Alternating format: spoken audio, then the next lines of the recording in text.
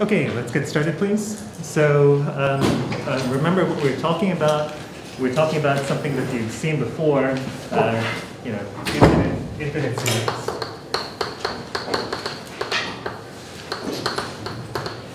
Right. So we're, we're talking about, you know, how do you sum uh, an infinite number of numbers, right? And of course, that's that's not something that you actually can do, right? We can't actually sum an infinite number, an, an infinite number of numbers. But what we can look at is the uh, uh, convergence of the partial sum sequence, right? So just to remind everybody, right? You have some um, you have some sequence, right? And you want to talk about this thing, you know, the, the infinite series, right? the infinite series, as if we were we were actually summing, you know, an infinite, uh, summing all these uh, this infinitude of numbers. Um, but we actually can't. Uh, but we what we do is we say, you know, this thing equals some L um, if uh, the uh, partial sum sequence converges to L. Right? we, we translate this to a statement about infinite sequences, right? And infinite sequences, we already have a, we have a full developed theory about, right? So recall, right, you let, um, you let S of k be the sum of the a sub n's from n equals 1 to k, right? And then you consider, so this is the, you call this thing the S, the S's, um, the partial sum sequence.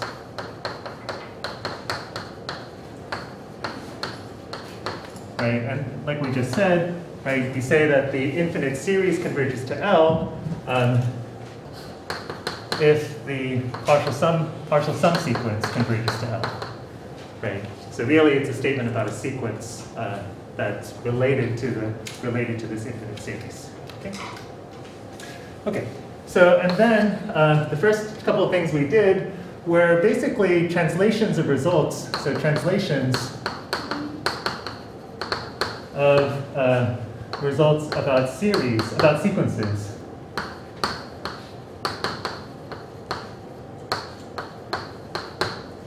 Right? Um, so the first one was this thing, the Cauchy criterion. Cauchy criterion, right? And, you know, if you're, so um, the way you want to think about that is that's basically just a translation of the, um, of um, so back when we're talking about sequences, and you know our sequences are uh, are sequences of, of, of, complex numbers. Okay, so for us, um, you know, convergence sequences of complex numbers, right? These partial sums, these partial this, this partial sum sequence is a sequence of partial is a sequence of complex numbers, right? So this converges um, uh, converges if and only if the sequence is Cauchy. Right? If and only if the sequence is Cauchy, right? Because the because the complex numbers are complete. Right? So the first result we had um, is basically a translation of this, right? To say that S of n is Cauchy gives us, is the same thing as saying, if you translate that, that's a statement about, that's a statement that we call the Cauchy criterion. Okay, so um, uh, this thing converges, um, you know, this thing is going to converge if and only if, um, so this, if we translate this to a statement about, about series, it says that this thing converges uh, if and only if um, for all epsilon greater than zero, there exists an, uh, n such that if n and m exceed n, then the size of the tail from n to m uh, of the case case is smaller than epsilon.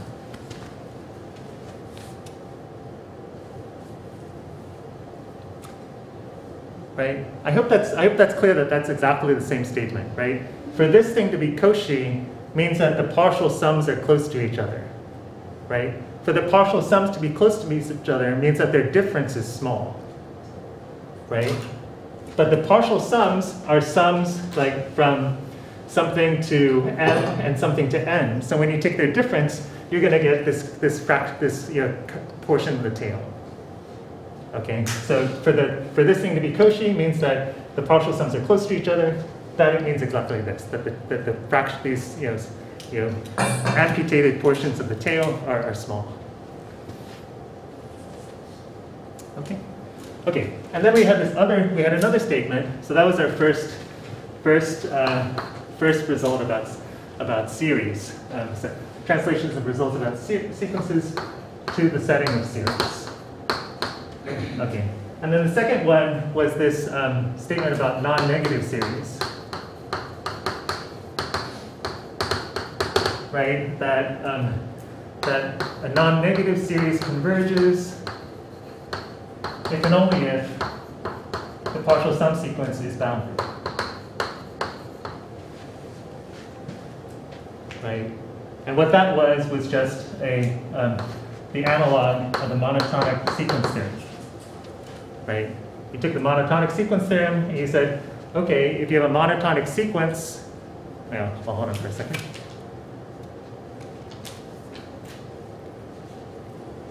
Right? What did the monotonic sequence theorem say? It said that if your sequence is monotonic, then it converges if and only if it's bounded.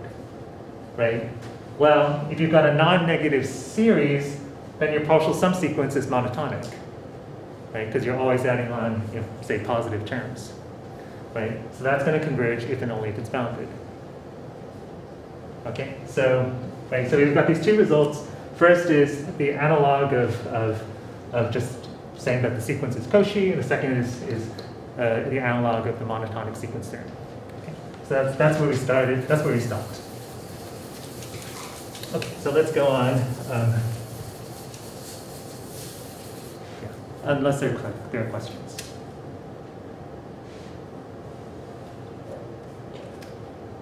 Any questions? Okay. Okay, so um, okay, so uh, the Cauchy criterion, so consequences of the Cauchy criterion, mainly. Basically, we're going to start with the Cauchy criterion and then get some results and then get some more results that, that build on top of that and go just keep on following, following off each other. This is a really well-constructed section in, in this book. Okay, so um, the first is the following, the comparison test. Okay, does anybody remember the comparison test from, from whenever you saw it?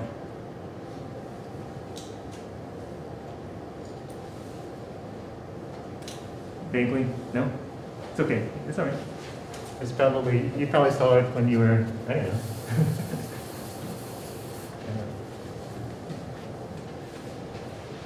Yeah, I, I, I have no idea when it's on. But, okay, so um, let me just put up some notation first. We're gonna we're gonna have three sequences involved. So let me just put them down first. So we got these three sequences A, C, and D. Okay, and um, uh, the comparison test has two sort of forms. They're equivalent, uh, basically equivalent. So if um, Suppose we know that the, uh, that the magnitude of a sub n is controlled by c sub n for all n. Okay, for all n, really, we don't need it for all n. We need it only past some point, right? Because, you know, you don't care what happens in the finite. You would care what happens in the infinite, right?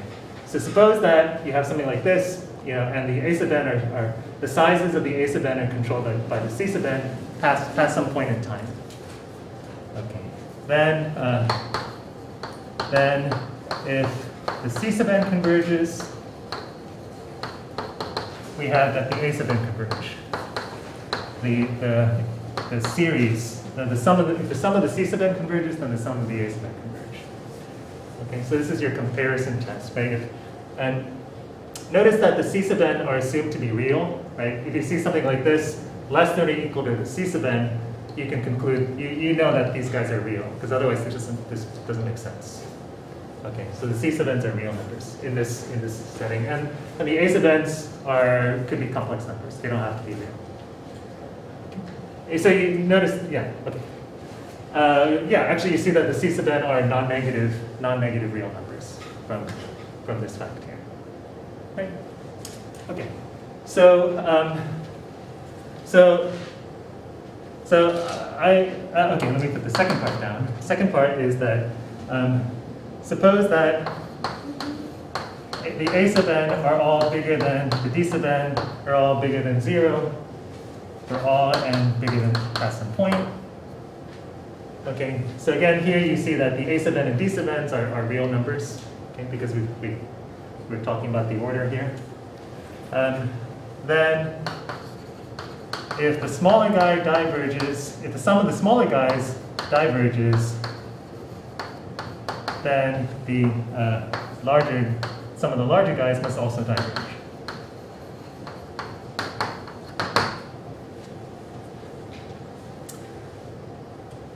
Okay, but you see that, that that follows from the first part, right? That's just a consequence of the first part, right? Because you know, if, if the A sub n converged, then the D sub n would have to converge also.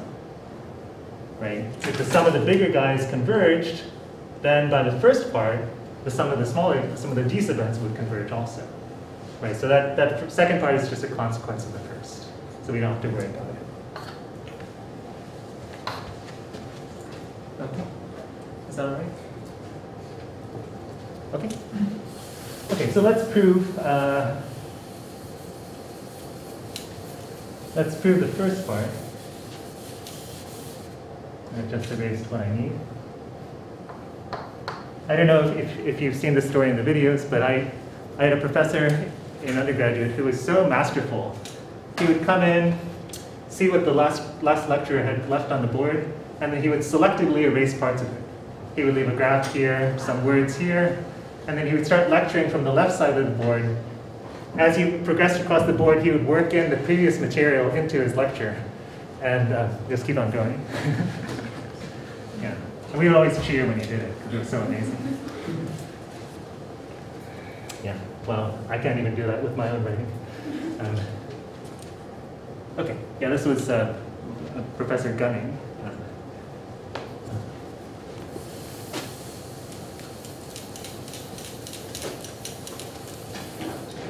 Always happy, happy guy. Okay, um, okay, so let's let's do the first part. So, you know, if the bigger guy converges, then the smaller guy, the, you know, the guy whose whose norms are controlled must also converge. Okay, so right, so let's think right by the Cauchy criterion.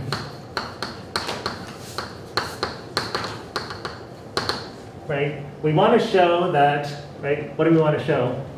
We want to show that given any epsilon, there exists an n such that if you're past that n, you know that the sum of the a sub k's from k from n to m, let's say that n, let's say that n is bigger than n, um, that the size of this thing is smaller than epsilon.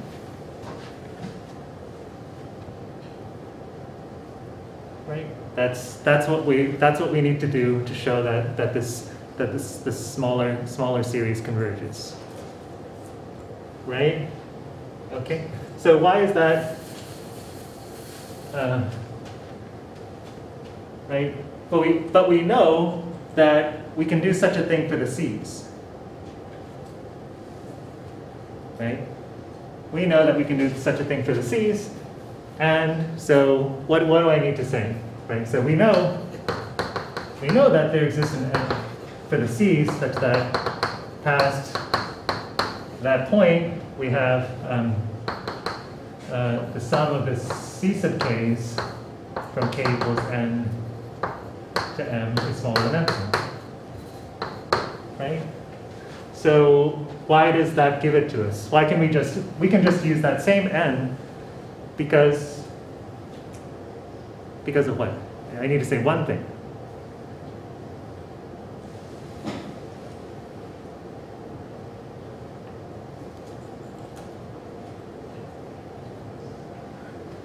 Right?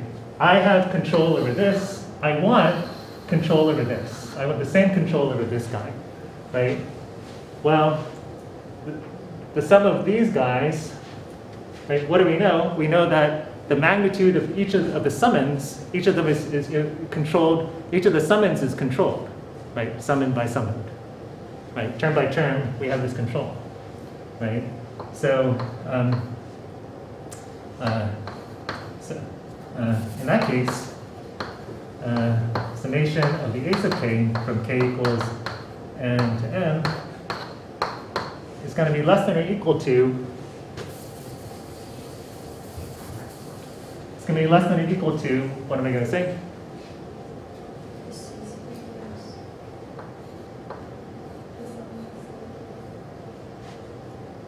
I need to say uh, one thing, which is triangle inequality. Right? By the triangle inequality, I can bound, I can control the size of the norm by the sum, sum, the magnitude of the sum by the sum of the magnitudes, right? And I know that that's smaller than or equal to uh, the c sub k's, right? Assumption, right? I guess I have to assume that I'm past this end, so I need a different end. We know there's an n prime, right? So I need to, I guess to work this in, sorry, I should have said, um, we can assume, uh, assume, take the n of n and n prime. Okay, so this, this n over here and this n prime. Okay, so then past that, for, for m and n bigger than the larger, bigger than the larger of the two, we're going to have this, right? Right? Which is smaller than smaller than epsilon.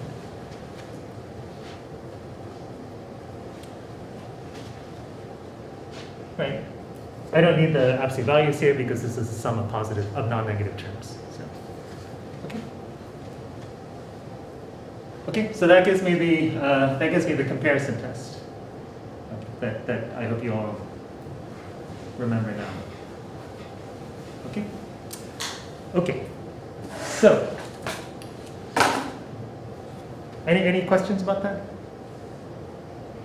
Yes, Brooke. So you just know that the, s- it's the sum of non-negatives because they're greater than the absolute value of the AN? Yeah, yeah, right, because the absolute value, the, you know, whether this is the absolute value or the complex absolute value, you know, either way, those are, those are non-negative numbers, Gotcha. right? So you know that, that these guys are all, yeah. Other questions? Okay, yeah, that's just implicit in that inequality. Okay, let's go on to the next one, which, so that, that, that one you may have seen, but the next one I'm pretty sure you have not seen. Almost guaranteed, guaranteed. So this is the theorem of Cauchy's. And I'm going to call it the uh, Lacunary theorem. I don't know if it's actually called this, but it makes sense to call it the Lacunary theorem. What does lacuna mean? Anybody know this term? No? It just means gap. There's a gap. So there's a theorem about summing a series with, by, uh, with gaps. I guess none of you have to memorize like obscure vocabulary uh, for the SATs anymore. When I was young, you know, when I took the SAT, we had to memorize pages and pages of obscure, obscure vocabulary. So like, in, in calculus, you may have seen osculating circles. Have you seen this term? Osculating circles. So who, who knows what osculate means? It means, hmm? Is it like oscillate? No, it's, it's actually very different. it means to kiss, actually. So it's, it's when you have a curve and then you have a circle that, that is, just touches it at one point. So the, the circle osculates, it's osculating. that, that was actually something that we had to memorize. Okay. In any case, um, we have this Lacunary theorem of, of Cauchy's, so it goes like this. Um, suppose you have a non-negative, non-increasing sequence.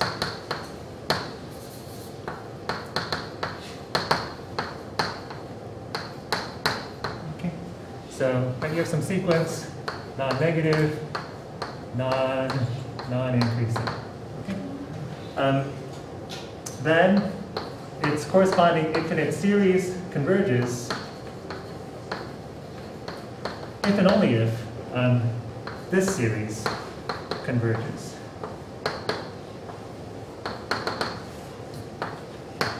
Let me write this as sum of n from 1 to infinity.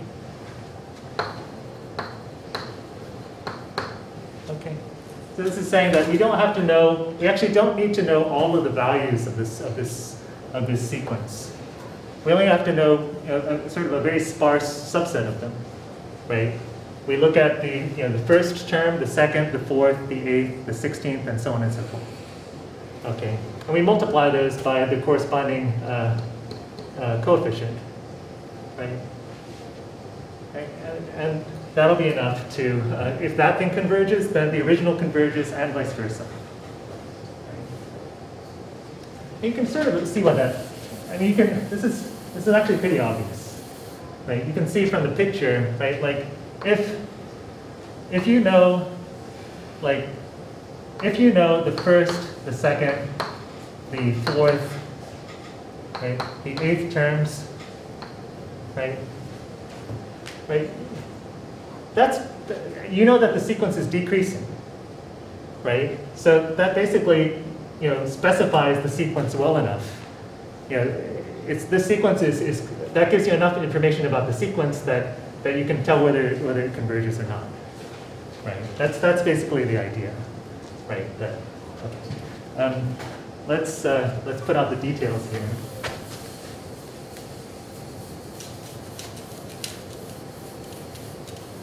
Okay, and to prove it, we're going to use the convergence theorem. I'm sorry, the comparison test. Okay, so some notation. Let S of n denote um, the, sum, the partial sum, partial sum of the of the ace of, ace of kings. Okay. Let p sub k denote the kth partial sum of the of the second series.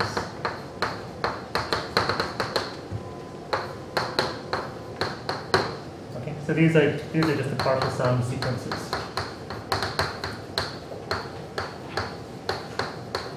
Okay, and what we're going to show is that they're they're comparable to each other. So that one is going to be larger than the other, that, that each is larger than the other, basically. Okay. Oh, yes. Is that the a kth term or Ah, thank you. Yeah, that should be A two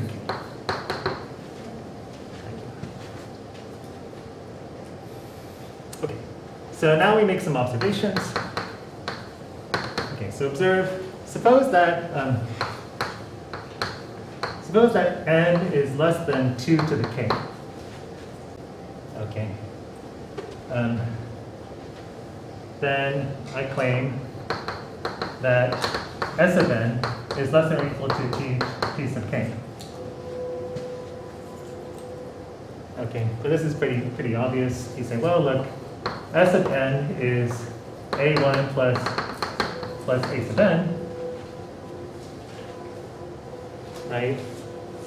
Uh, I said S of n equals this, but that's less than or equal to a1 plus a sub n plus a sub 2 to the k.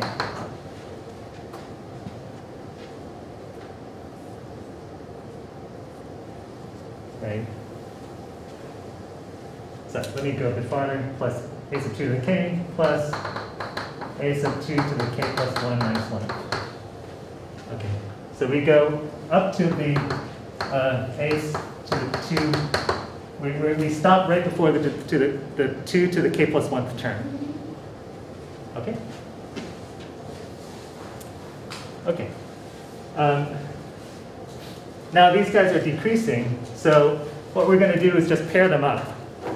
We're going to pair, we're going to put them in groups basically. We'll say okay, I'm not gonna actually, I'm not gonna include you. Instead of you, I'm gonna include two of this, two of the first guy in your group, right?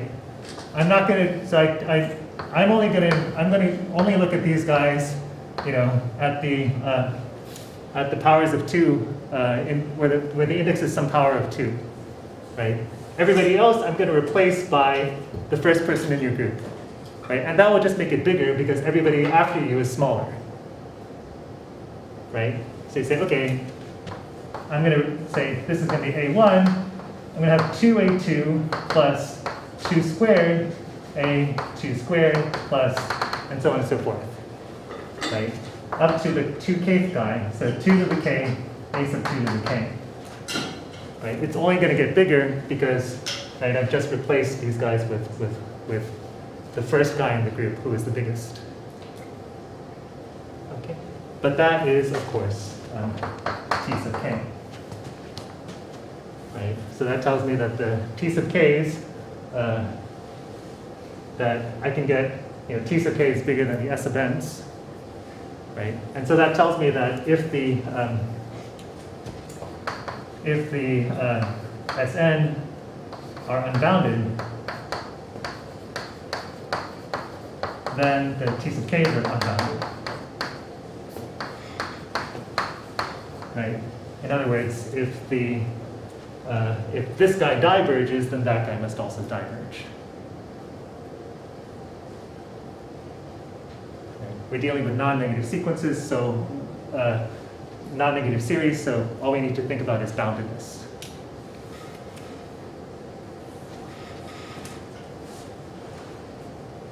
Okay, so any, any questions about that?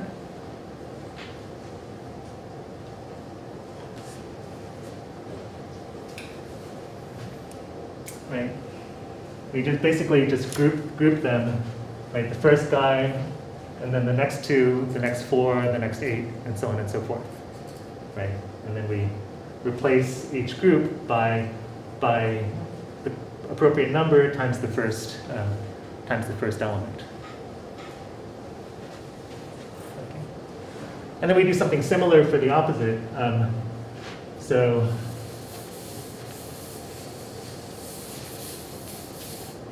right, um, right, similarly, we're going in the opposite direction, um, uh, we observe that that um, if n is bigger than 2 to the k, then s of n is greater than a half of t sub k.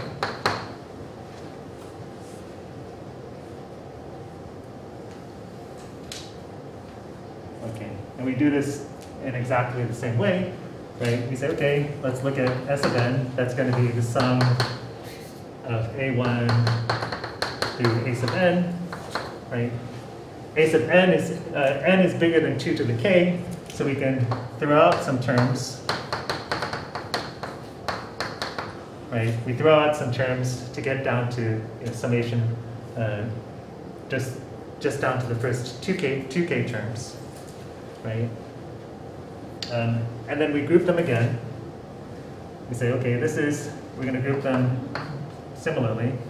This is a1 plus a2 plus a3 plus a4 plus plus a2 k minus 1 plus 1 up to A2k. Right. Um,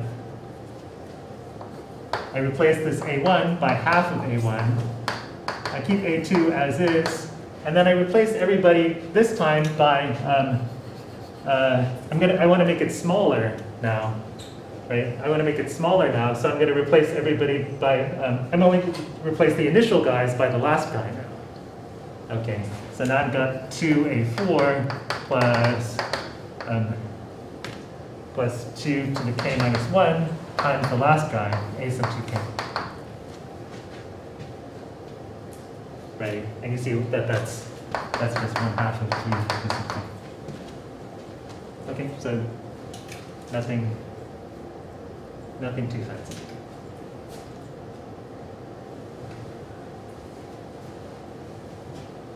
Right, this is, this is more like, yeah.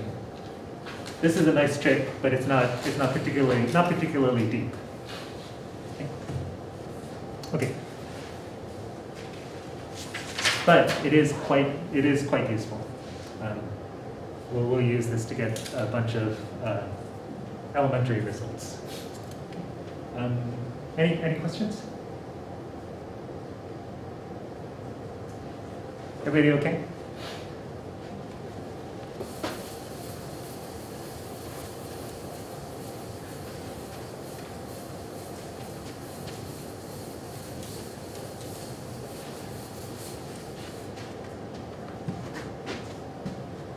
Okay, okay. So um, here's some some increasingly complicated examples.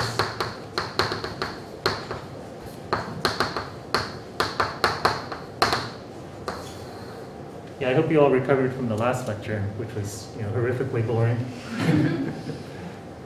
I went I went home and just like in depression.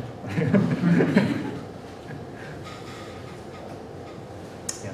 Anyway, okay. So um, uh, so first example has nothing to do with, with anything that we've done so far, but it, we should we should include it anyway. Um, you, and you've definitely seen this geometric series, right? So um, examples of non-negative series.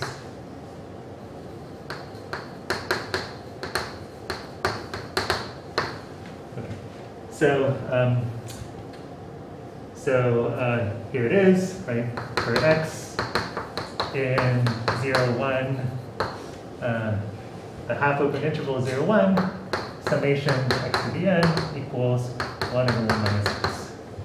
As n goes, you sum from 0 to infinity, you get 1 over 1 minus x. Right? And who wants to tell the proof of it? Anybody? Not, maybe it's not exciting. Does anybody like to tell the proof of it? Right, why does the geometric series uh, sum to, and, and of course notice that um, if x is bigger than 1, then you diverge. So why does this converge to 1 over 1 minus x?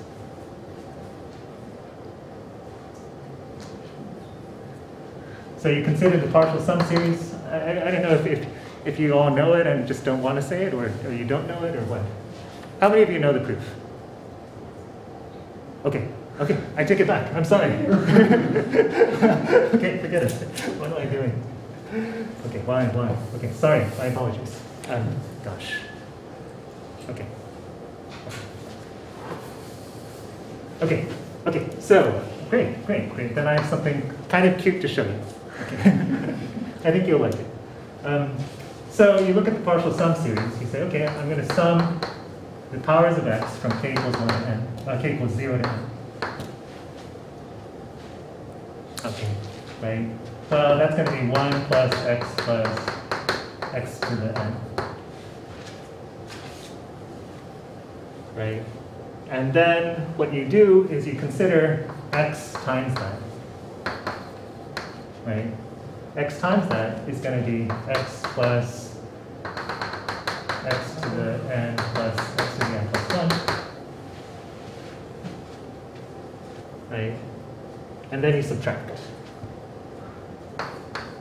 So uh, 1 minus x plus of n is going to be 1 minus x to the n plus 1.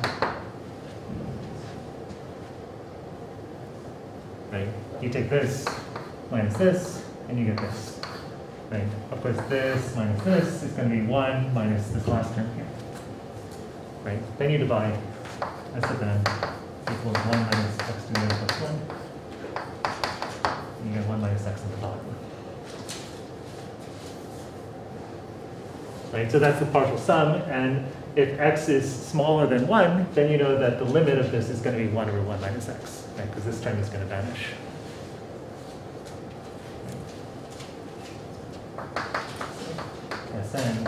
is to one one for x.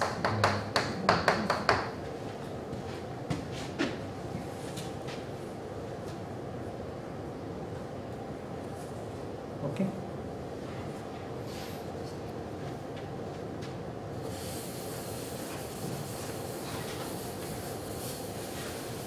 Just out of curiosity, how, how many of you have seen that before?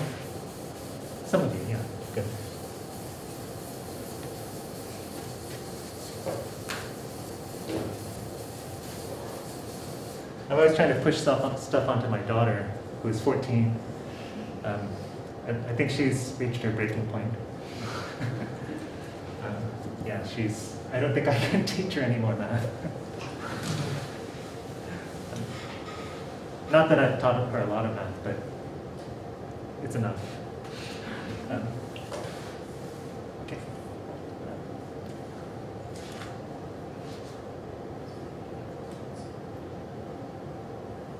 Yeah.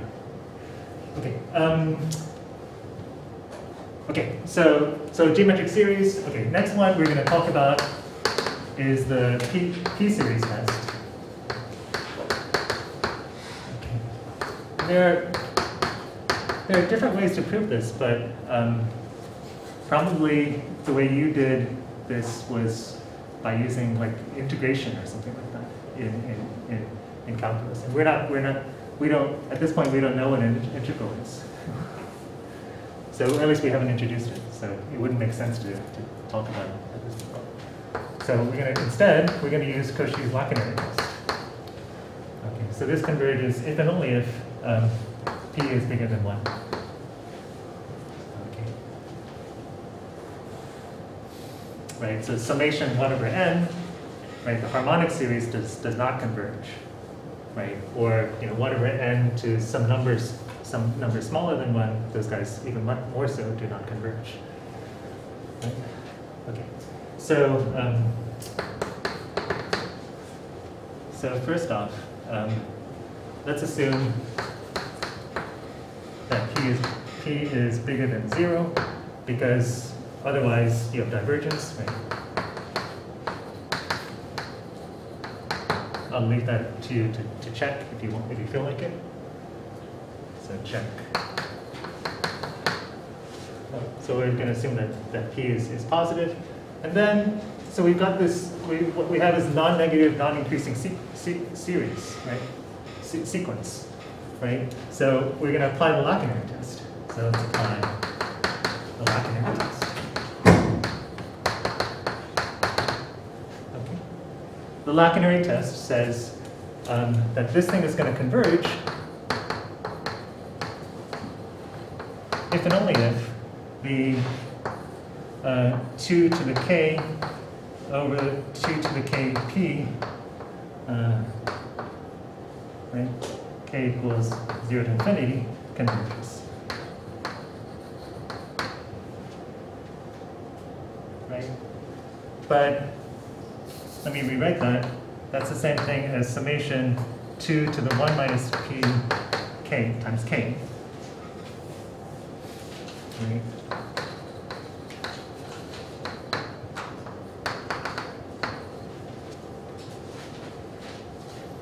Right? So just you know, use your properties of, of exponents. Right? But this is a geometric series. This is a geometric series, right? This is this to the kth to the kth power summation from, from k equals zero to infinity. So we just apply the geometric series thing to this, right? We know that this is going to converge um, if and only if uh, 1 minus b is less than 0.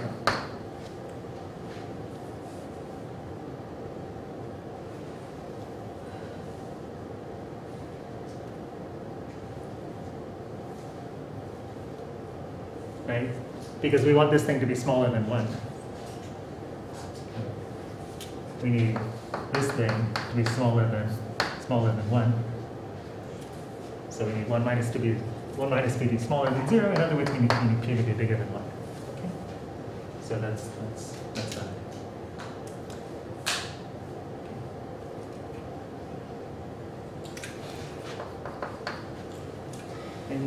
Okay, so just you know, straightforward application of lacunary test, right?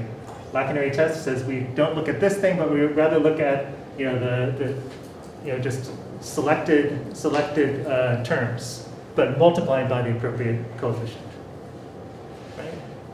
And that turns into this geometric series, and we apply the geometric series test.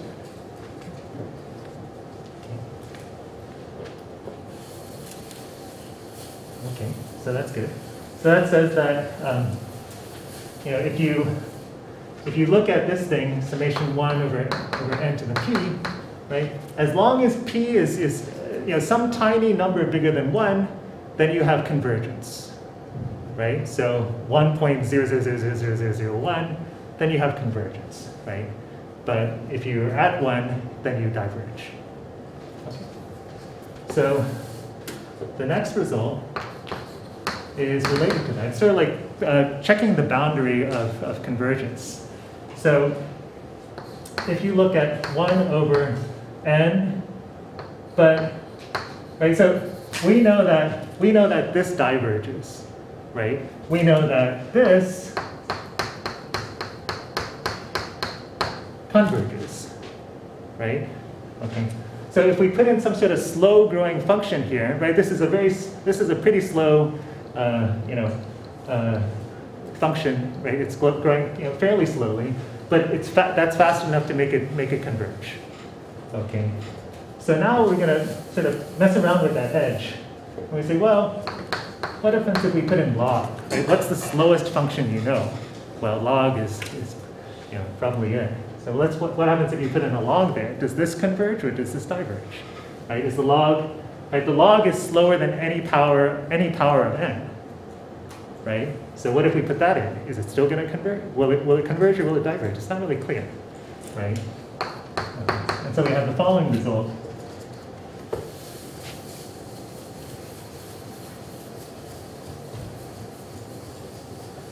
Right.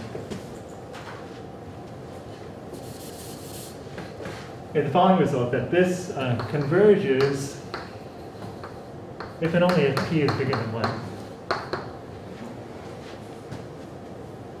Okay. So in particular, if p equals 1, then it actually diverges. Okay.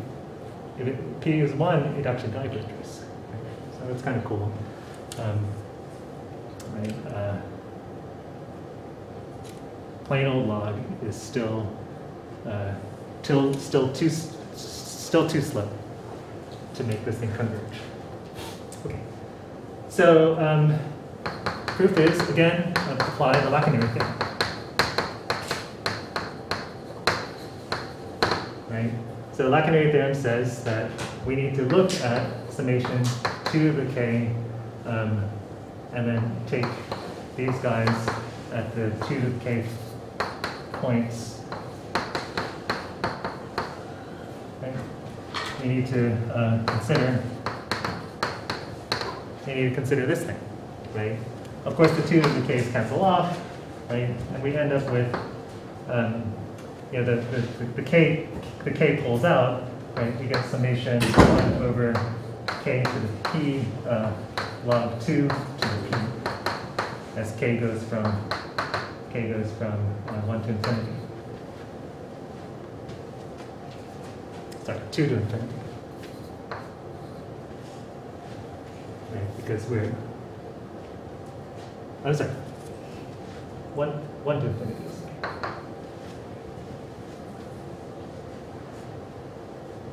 Okay. Uh, okay, but then what we get is 1 over log 2 to the p times summation 1 over k to the p, right? And so we're done, right? That, that, that converges, converges if and only if the power is, is bigger than 1, right? That was the, that was the, the p series that we just did, right? That's this. Right? This converges if and only if p is bigger than 1, right? So, so we're done.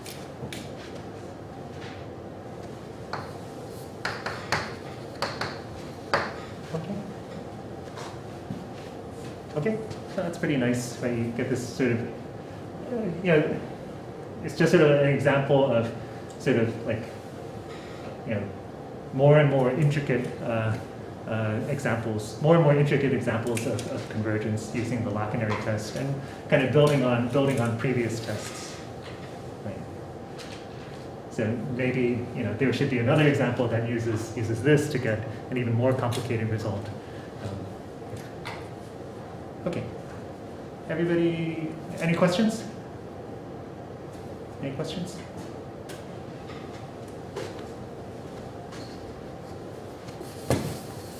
Okay, so, um, okay, so uh, there's a little, there's, I'm going to ask you to read, there's a section in the book that I'm going to skip. It's, it's on E. It just talks about the number E. Please read that yourself. Um, uh, what I'm gonna talk about now are things that you've seen before, but definitely not in this form, the root and ratio tests.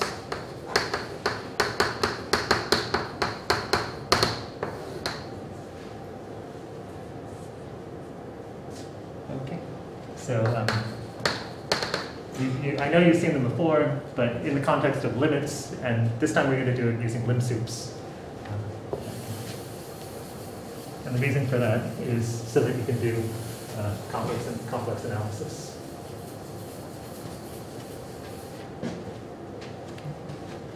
For those of you who are enjoying this teacher, I will probably be teaching complex analysis in a year. So not next semester, but the semester after. Um, so I don't know, if you, if you want to see me again, that's, that's, that, that'd be nice, but I know. Yeah. Complex analysis is one of my favorite courses to teach. So, uh, yeah. Although I haven't taught it in a while, I haven't taught it in a long while. So, but, but, um, but yeah, it's, it's a, it's a very cool course where uh, everything kind of, everything works out beautifully. That's, that's, what's, that's what's kind of wonderful about complex analysis. It has all these uh, sort of amazing results, um, and they work out um, kind of nicely.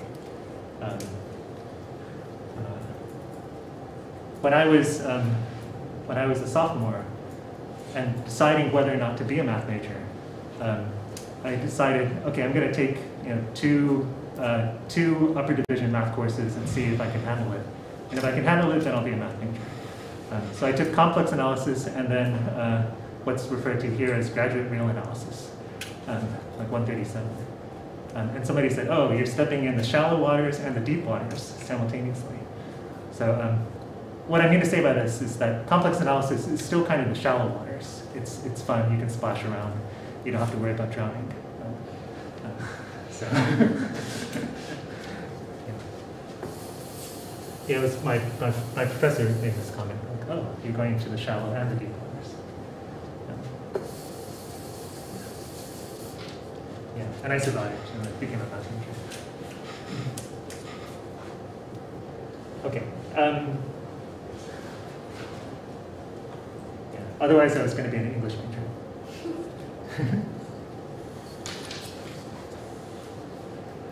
okay. Okay. Uh, so, the root test.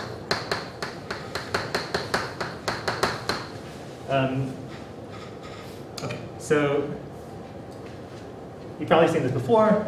Maybe I should stop saying that, but given a, uh, an infinite series, um, what you do is you let uh, alpha be the lim sup. No, you haven't seen this before. You let alpha be the lim sup of the nth root of the um, of the nth term of the absolute value of the nth term. Okay, so you consider the, the, the absolute values of each of the of the of each of the terms. You take their nth roots, and you look at that sequence, and you say, okay, what's what's the lim sup of that sequence? Okay, and it turns out that if, if this alpha is less than one, then then it turns out that the sequence converges, the series converges. Okay. Um, if alpha is greater than 1, then the series diverges. And that's all you know. If alpha equals 1, actually you don't have any information. Okay, it could be could converge or it could diverge. Okay. Um, so if you look at, for example, summation 1 over n, right, then the root test would give you a 1 and if you look at summation 1 over n squared, then the root test also gives you a 1.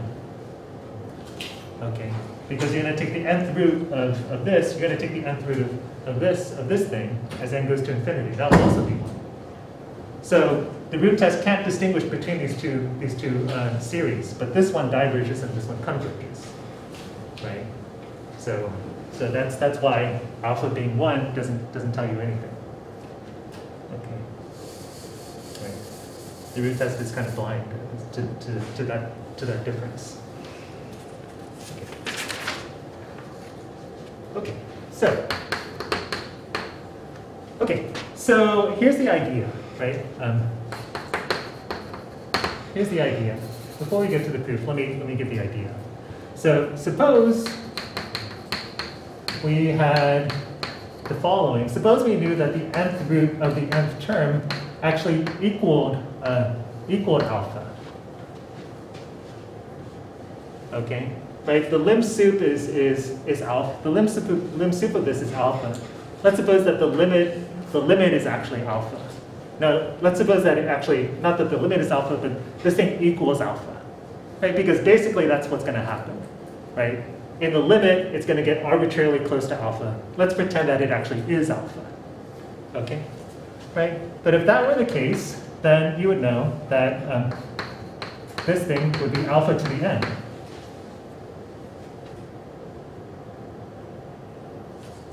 Right? Just take n, the nth power of both sides, right?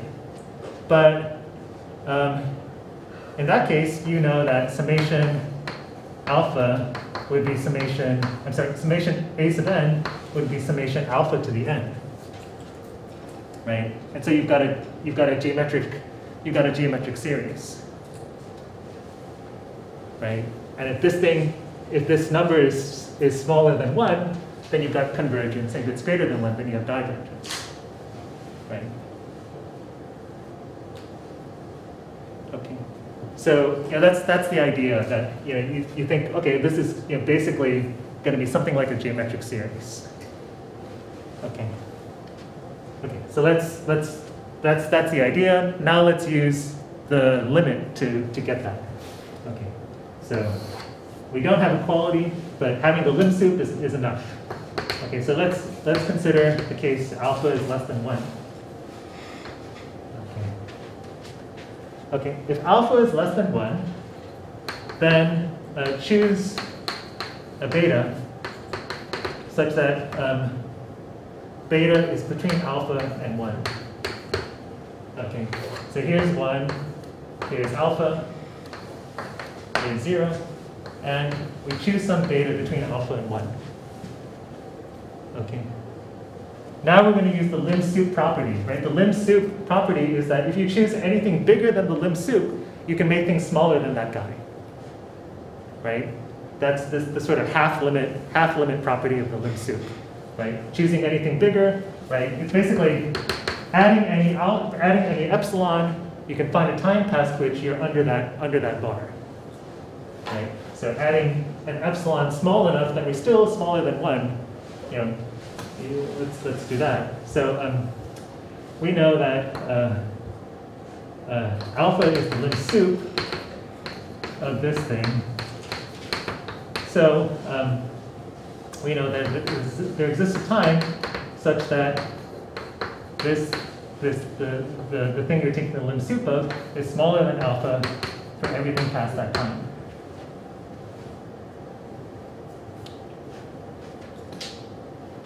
Right? Um, but you see what that gives you? That gives you that um, the magnitude of, of, uh, of alpha, uh, a sub n is smaller than beta, beta to the n all n bigger than n.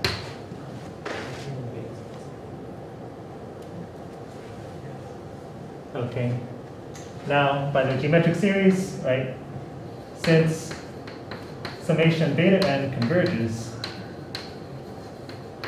we have, um, uh, uh, we're done by the comparison test.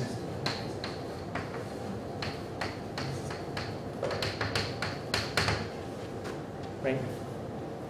Our comparison test said that as long as the size of, of one guy was smaller than the other guy, and the bigger guy converged, then, then the sum of these guys was going to converge. Right? So we're done by the comparison test.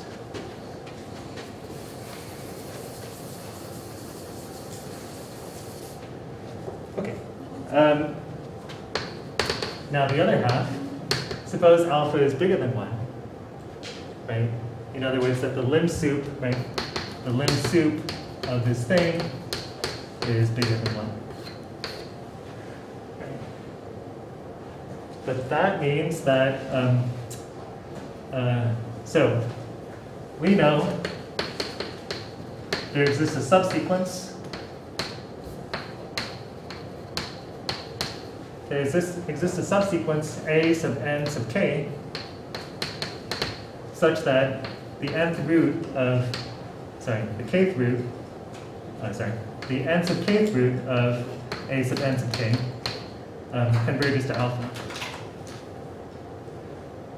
Right? That's just because this is the lim sup, right? It's the, it's the, it, it is it's, it is itself a subsequential limit. So that's just the definition of a lim sup. Um, but this, this alpha is bigger than 1, right?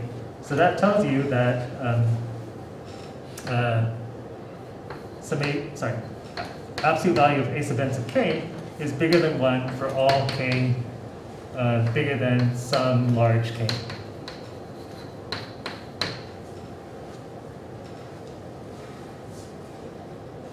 Right. We know that these guys converge to something bigger than 1, well then they've got to be themselves bigger than 1 past, past some point. Okay. But then that tells you that, um, uh, that the a sub n's are bigger than 1 for infinitely many many n. Right. Uh, that contradicts the divergence test. Remember, we had that divergence test that said that convergence forces the size of the terms to go to zero, but we've got infinitely many terms that are bigger than one. So we, we cannot converge. So we diverge.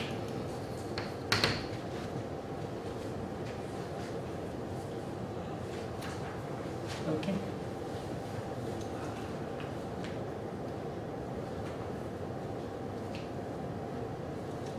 Okay, everybody all right? So notice that, you know, if you were back in calculus uh, and talking about limits,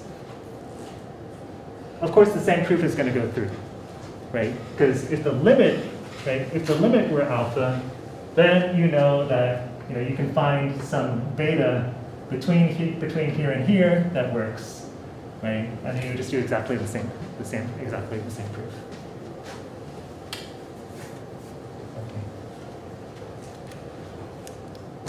So, um,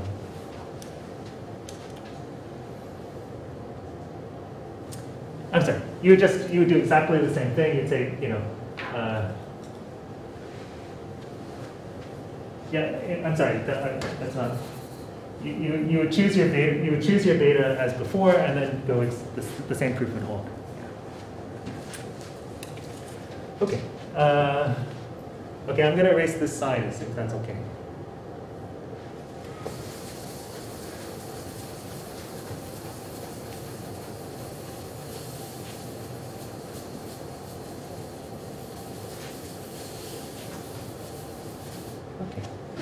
Okay, the second, thing is the, ratio test.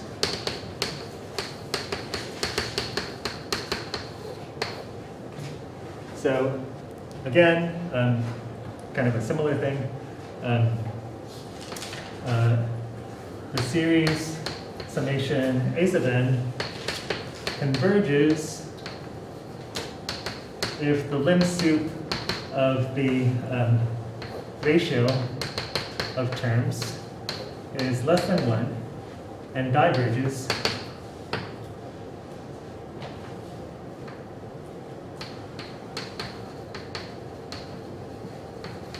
if um, the ratio of terms is greater than equal to 1 for n bigger than some fixed n.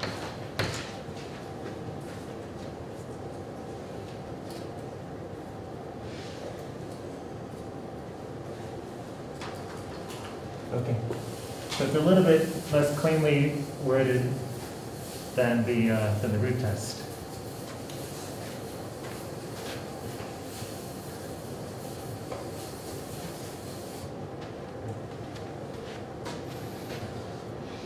Okay, okay. So the proof is kind of similar, kind of similar to the last one. Um,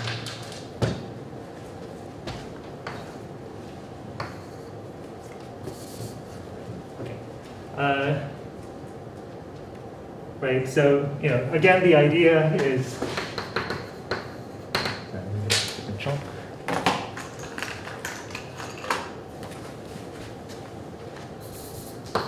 Again, the idea is, right, suppose you have equality, right? Suppose you have, um, uh, say that this thing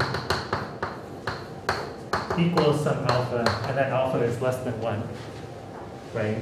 what's going to happen then? Well, a sub n plus 1 um, is going to be equal to alpha times the size of a sub n.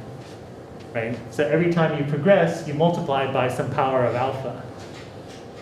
Right? So again, this, this turns into um, some, some const, it would turn into some, some constant times the uh, geometric series. Right? And then the geometric series is going to converge if your, if, your alpha, if your ratio is smaller than 1 so it seems like it's basically the same, same thing. It's not exactly. Um, okay, so, um, so, uh,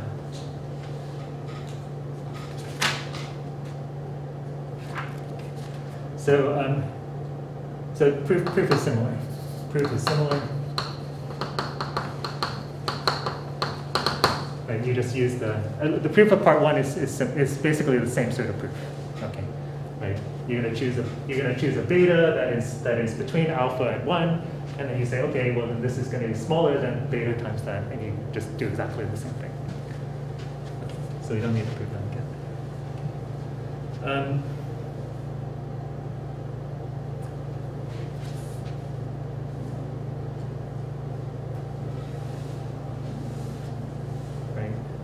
Do we need to do that again? Should we do it again? No. Yes.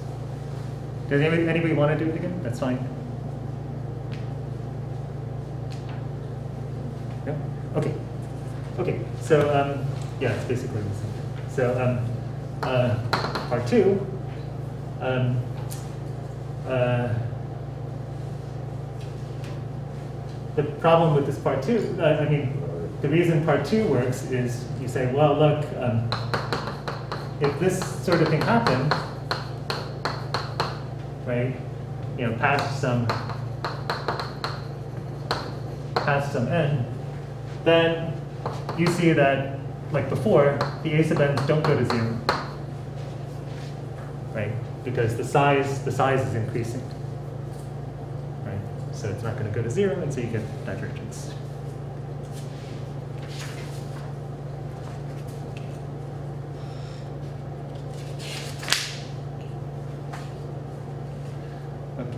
Um, okay, let me just make one, one, one remark that, that's, that's in the book. Um, so Rudin gives this example. He says, look at, here's, here's this kind of interesting, here's a illustrative example. If you look at the infinite series that goes a half plus a third plus a half squared plus a third squared plus right, uh, a half cubed plus a third cubed and so on and so forth. Um, then, uh, if you apply the, the root test to it, um, if you apply the root test to it, then you actually get 1 over the square root of 2. If you apply the, um, if you apply the uh, ratio test to it, then you get um, uh, then it turns out that you get um, uh, the limit of 3 halves to the end, which is, which is infinite. Okay. So in, in this example, the, the root test tells you that it converges. And then the, um,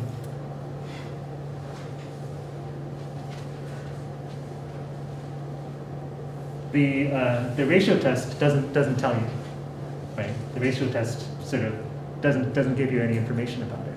So even, so the, point here is that even though they both seem to be based on the geometric series, they actually have different, uh, different potencies, right? Different, different, uh, they, they, they have different application. They have different application.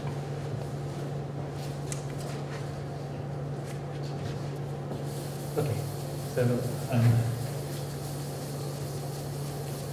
let me finish off, I think, with um, uh, uh, something we're going to get to. Um, not sure how. I think we're actually not going to get too too much into this, but this is something really crucial, um, and you're going to see it a lot if you if you take a course in complex analysis. You're going to see it a lot. These things called power series. Okay, so um, the setting is this. You have a bunch of complex numbers. Okay, you have a bunch of complex numbers, um, and you have uh, a complex variable.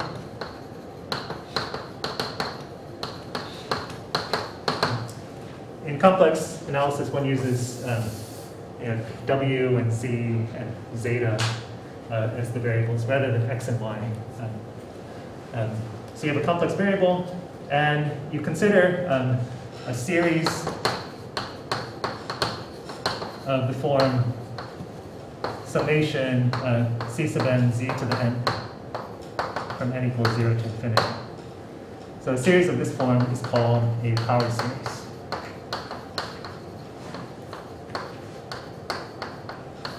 Centered at 0.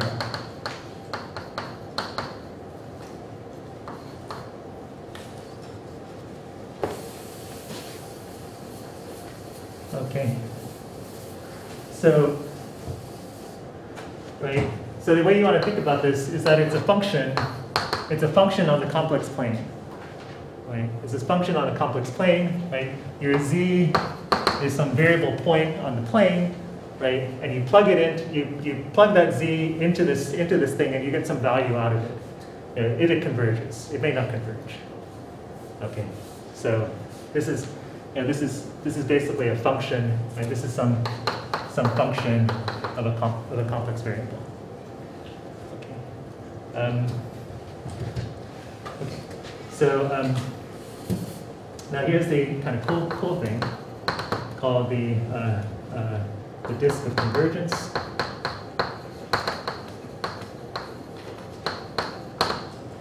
So um, uh, let c sub n z to the n be a power series.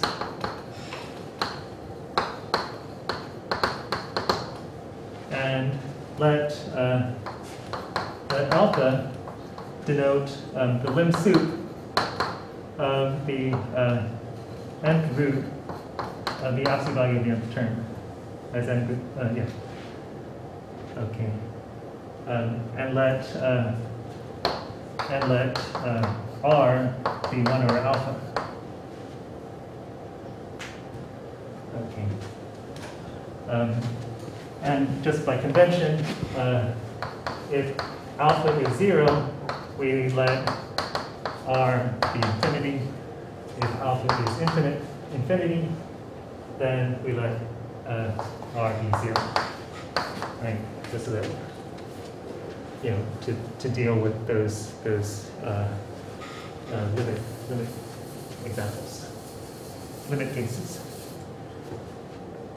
Okay. Okay. So um, then, uh, then the power series converges uh, in the disk z less than r magnitude less than r, and diverges outside of it.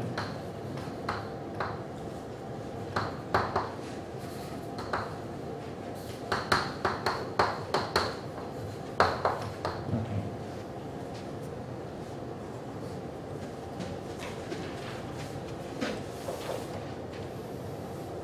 Okay.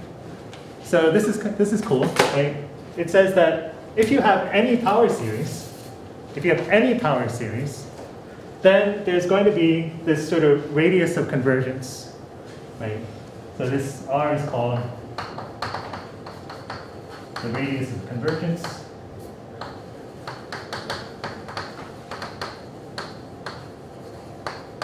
And, uh, you know, this thing is called the disk, disk of convergence.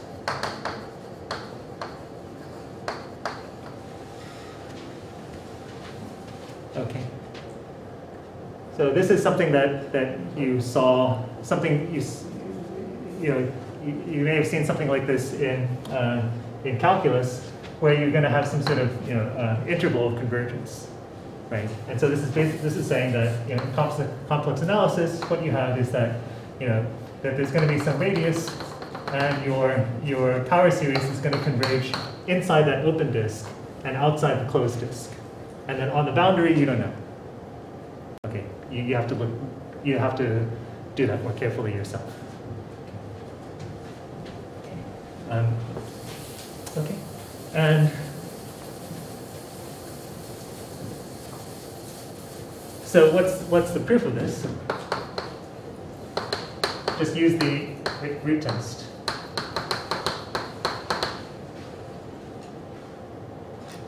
Okay, what does the root test say? The root test says that this thing converges uh, where um, if we look at the lim sup of the nth root of the nth term uh, is smaller than 1, right? And it diverges where that thing is bigger than 1 right? But you see what's going to happen there, right? This, that the lim sup of the nth term of, of that, right? The um, it's just going to be uh, the limit of the nth root of, of this thing times uh, the absolute value of z.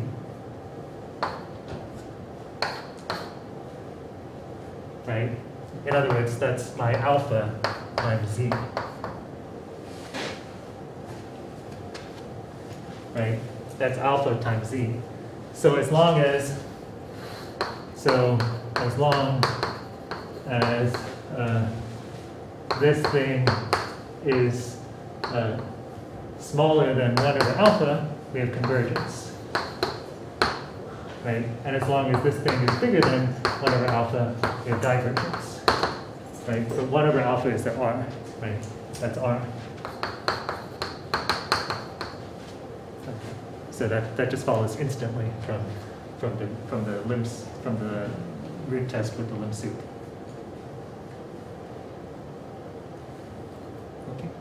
In case you were wondering why that, why that worked out in calculus.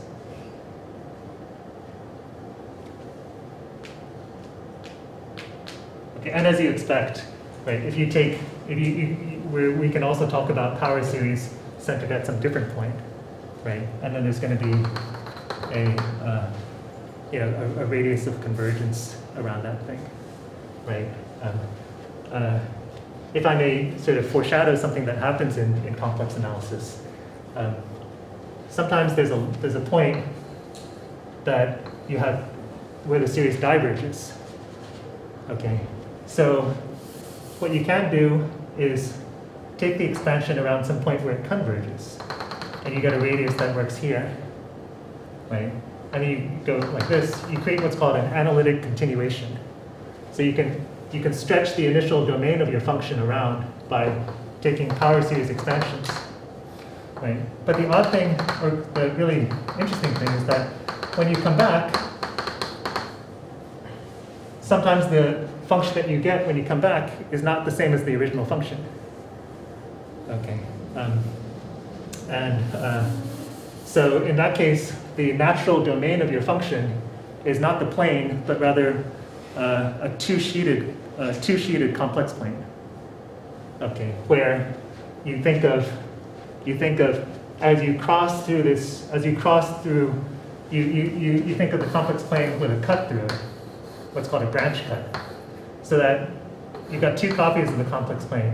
As you pass through the branch cut, you end up here, and here's where your second function is defined, right? And if you reverse, if you go through it, backwards, you end up back in your original, original, uh, what the, with the original definition of your function. Um, this idea uh, was the heart of, was the, was the idea behind Alice through the Looking Glass, or its later descendant, the Matrix, right? Um, so uh, uh, Lewis Carroll was a mathematician. He thought, okay, well, let's let's take this idea. of This we have this thing that you pass through, and you up in you end up in this completely different world. And to get back to it, you have to pass through the, the Looking Glass again. So anyway, so that's that's it. okay, see you guys next time.